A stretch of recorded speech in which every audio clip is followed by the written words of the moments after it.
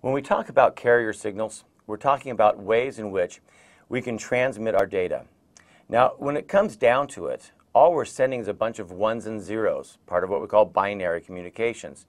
And those ones and zeros, when put together and read by an application or you know, whatever it is that we're uh, using for the communications, will understand what the message is.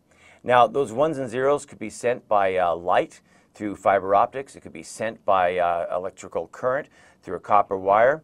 It's just a method of being able, we have to have a method or some sort of media to carry the ones and zeros. In this case, we're going to use radio frequency.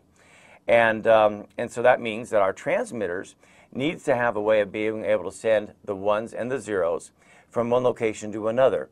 Again, the idea is that the receiver would understand the pattern of information and would be able to decipher the ones and zeros being sent so that we can put that data together. Now, if a signal fluctuates or if it's altered, even slightly, then the signal hopefully can still be interpreted so that the data can still be properly sent and received. And, um, and so this is called the carrier signal.